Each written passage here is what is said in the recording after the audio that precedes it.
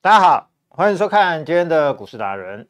那么在昨天台股涨了两百六十几点之后，今天啊涨幅放缓下来，盘中呢最多涨四十二点。那目前录音的时间，录影的时间十二点十三分，好，它小涨二十点。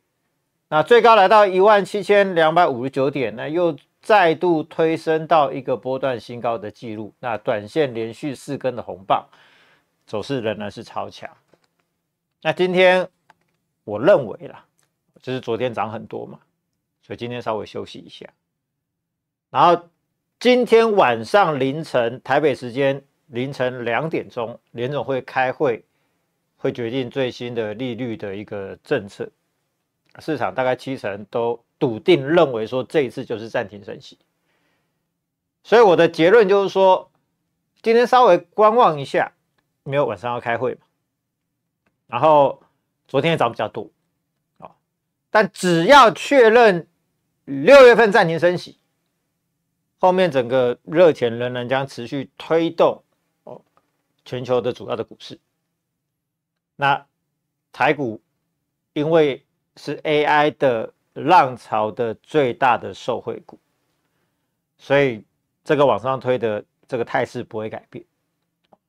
那就像我车标说的，我认为将要挑战一八六一九，台股去年的历史新高，两万点我看来都不是问题啊，因为这个 AI，它十年啊，未来十年，它有三十倍产值的成长的空间，换算成每年的复合成长率高达四成，这是一个非常惊人的数字。代表就是说，整个市场规模每两年多可能就要翻一倍，十年要翻三十倍，这带来的影响是面面相向，你生活中所遇到的各个面向，未来都会导入 AI，是非常恐怖的趋势。那因为它是架构在 PC 的生产链上，等于是再升级。那过去。几乎全球九成的 PC 的产业链都在台湾嘛，所以这次等于是在既有的 PC 的产业链上投注了一个非常大、令人非常兴奋的一个全新的一个成长动能出现，所以让这一块的市场价值再度被挖掘起来啊，被挖掘出来。所以就像我说的，影响所及哦，比如说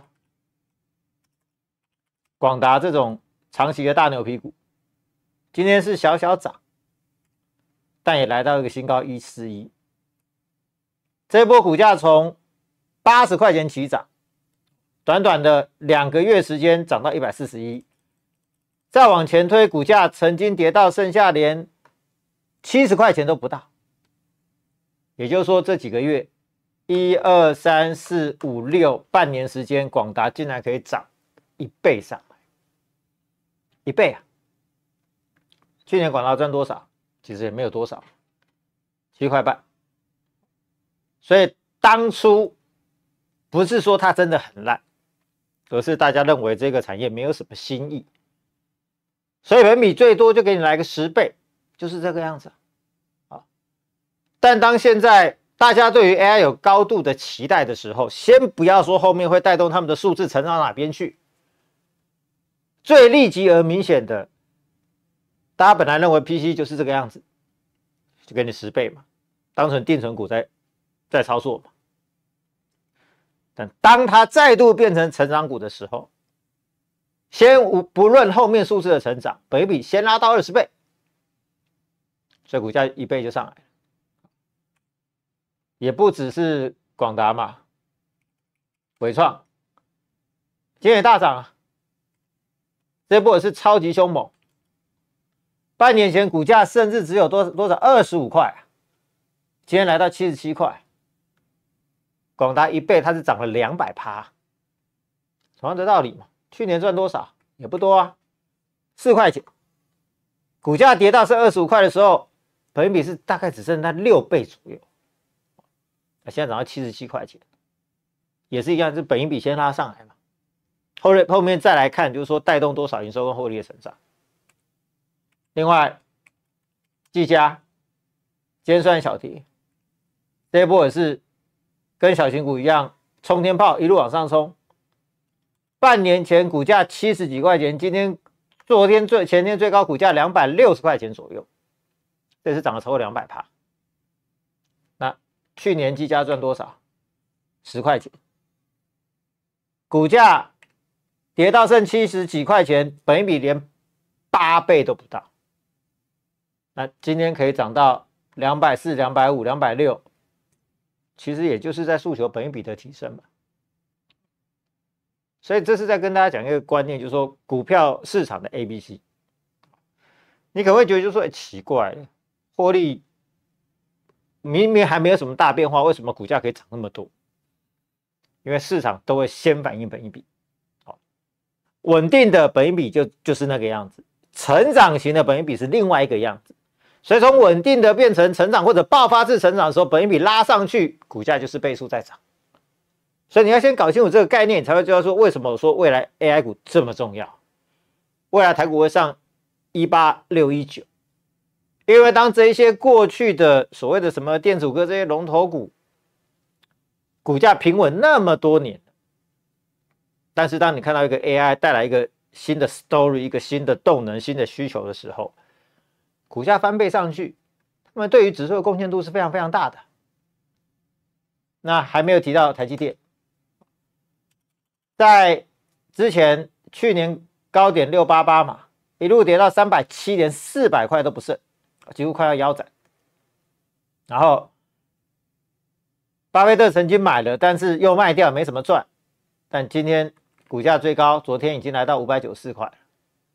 外资最近毛起来出报告，已经喊到七百多块去。那我的看法是六八八你会解套。六八八会解套，因为 NVIDIA 跟 AMD 他们的 AI 晶片都只能找台电投片了，目前其他人做不来，所以台电它是最大受惠者。两年之内，只要它的 AI 的比重拉高到十趴，获利的贡献度可能就高高达二十八到三十趴，超级强劲的成长动能。而且未来十年的发展，AI 这一块会一直上去啊，所以台电过个高，我认为一点都不难呢。好，所以存股当初存很高的，你都有机会解套了。所以再来 AI，仍然是台股的主轴，我推着台股挑战一八六一九。所以这个主轴你先抓清楚了，才会知道说哦，后面你要该怎么操作。好，那这边也先追踪一下经济科，哦，其实有一阵子没有提了。因为公司它就是在一个谈案子的过程当中，那公司没有进度，我多讲也没有用，就造成双方面的凌乱啊。但是为什么今天要提？因为昨天经济科是股东会，董事长也谈的蛮多的啊。那我有朋友去现场，所以我大家就哦都有了解哦，董事长谈了什么？那大家就讲几个重点了，就是说第一，董事长说大陆有非常多个案子将要收尾。那这其中谈的案子的种类非常多，包含有之前说的行政电脑，啊，银行端用的电脑，然后还有哦网络的 Edge Server，啊，伺服器用的 Edge Server，还有车载的 IC，还有工控的 IC，还有电力系统里面所用的 IC，非常多的案子同时在进行当中，而且这董事长讲的不是我讲的哦，是。多个案子都进入到最后收尾的阶段，好，这不是我讲的，董事长讲的，股东会讲的。下半年业绩，董事长说会非常的好，但是就是等，因为已经进入收尾阶段嘛，一个一个签下去之后，然后后续就等着要入账。每一个案子的贡献度都很多，都很多，所以目前手上正在谈案子至少四到五个。所以只要陆续收尾签进来，下半年业绩就会大爆发。那公司也老董事长也提到，就是为什么这次要配现金零点一，股票股利有零点三元啊？为什么要配零点三元的股票股利？董事长就特别说，因为大陆的案子谈很久了，准备要收尾了，所以他认为，即便公司现在啊前面没有什么赚，但是这是一种回馈的心情嘛，所以就故意就特地配了股票股利零点三元。回馈给股东，应该要开始回馈给股东，因为后面签进来，后面就要大赚，就会配的更多、更积极。所以整个股东会讲下来，我认为公司深具信心。大概前面谈了一年多的案子，只要陆续在下半年定案的话，大概业绩就一飞冲天了。好，那股价部分，因为它在一个绝对低档，过去半年包含 I P 股、四新创意就不谈了，M 三一都已经涨到九百多块钱了。好，金金星科现在有五百，好，利旺两千多，整个 I P 股里面大概没有涨到的，近期最低的就是金立科。所以我今天盘中文章我就说，其实。你就把它想成一个多月前的观光股，股价可以在一个月之内涨超过一倍，因为之前基期非常低。当业绩整个蹦蹦蹦倍数成长，好几倍成长、十倍成长跳出来之后，一个月蹦蹦蹦上去都是超过一倍，所以就是类似，因为基期很低，基期最低 I P 股，然后 A M D 最新的。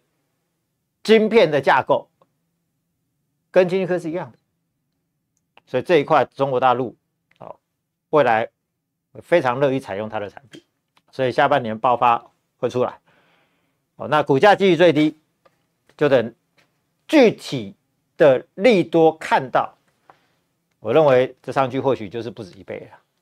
好，所以这边好，金科这边我开始会帮大家继续做追踪。然后 AI 的部分，光通讯还是超强啊！华星光上周四七十二，礼拜五涨停板七十六点四，礼拜一七十八点八，昨天八十二点五，尾盘不止，好像到八三八。刚刚印资料的时候八十二点三，然后最高来到八十三块七，离昨天的高点就差一点点，就差一毛钱。所以这随时都要过高，那我们买四十六块九到八十三块八，总共最多赚三十六块九，七十八点六趴。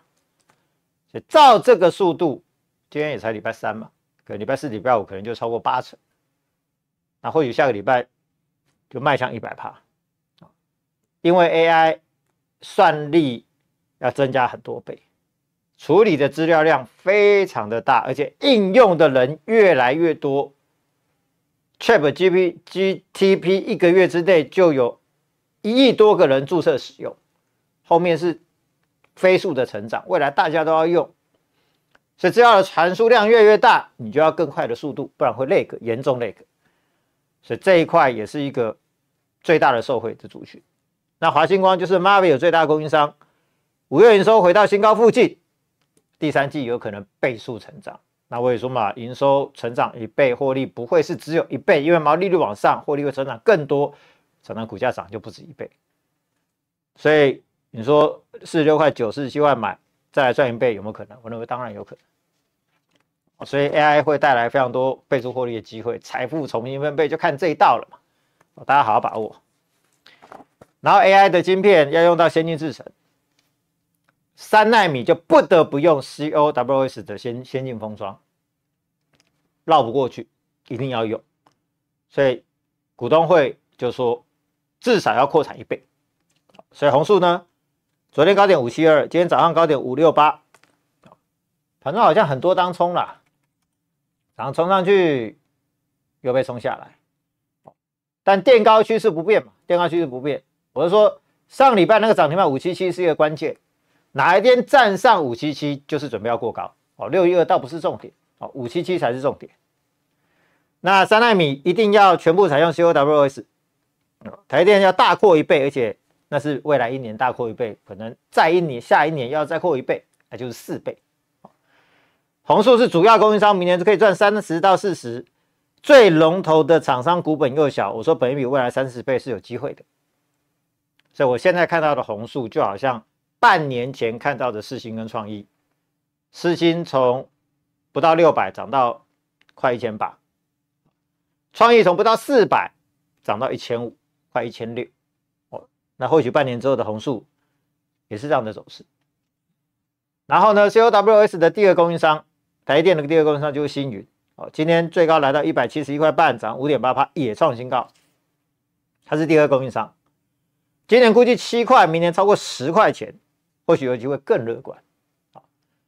那最龙头的当然是红树嘛，股本又小，那它股本大一点，第二供应商本一比我认为至少有二十倍起跳，上看三十倍，所以未来大概就是 AI 会带动非常多的设备进入一个大成长期。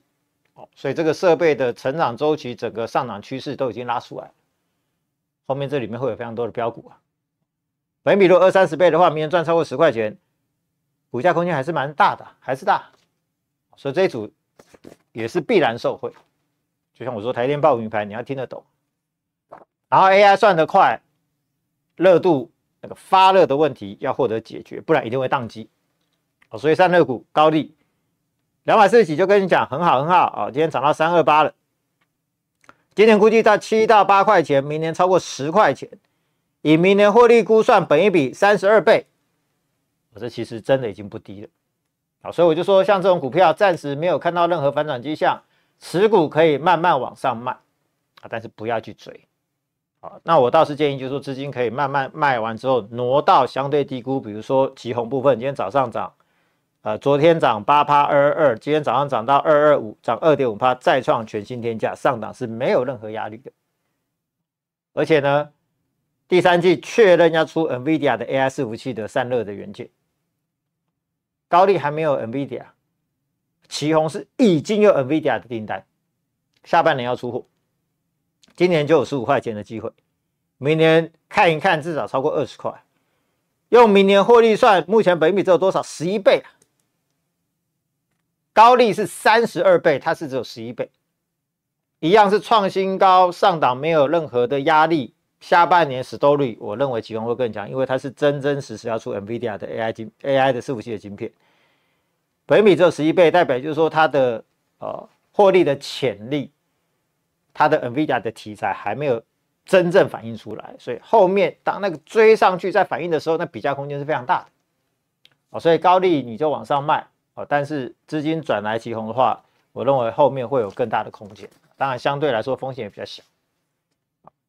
然后刚刚提到的设备，哦，再来会走一个可能会长达两到三年的大长多。大陆最近 AI 带来的检测设备的相关公司股价大标特别好，对，大陆在炒这一块，因为确实这一块的商机整个拉上来。台湾有没有？也有，台湾也有。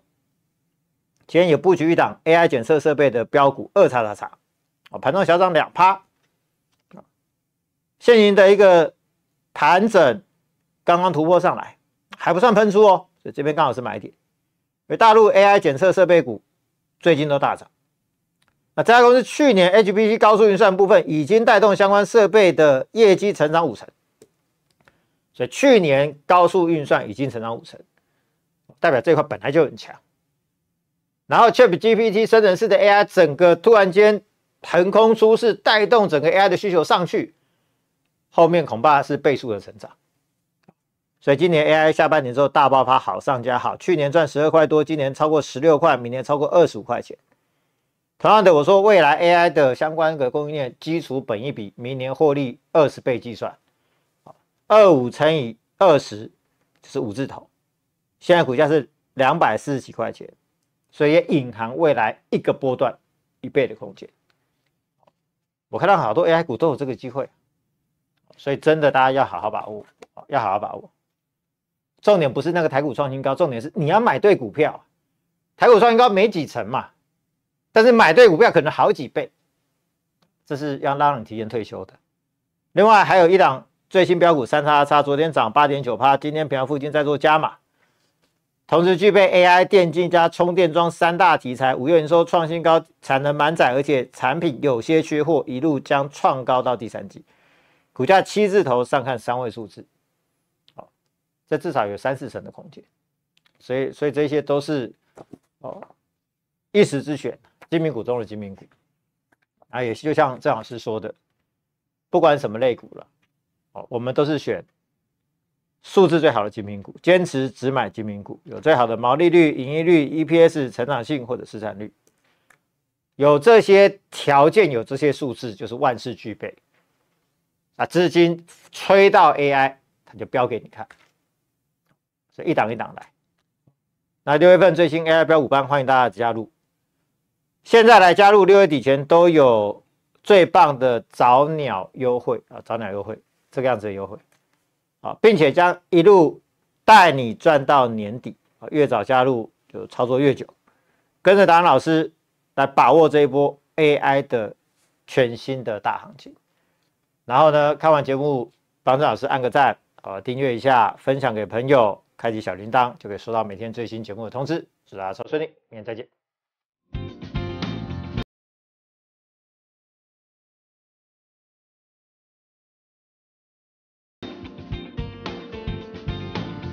本公司与所推荐分析之个别有价证券无不当之财务利益关系。本节目资料仅供参考，投资人应独立判断、审慎评估并自负投资风险。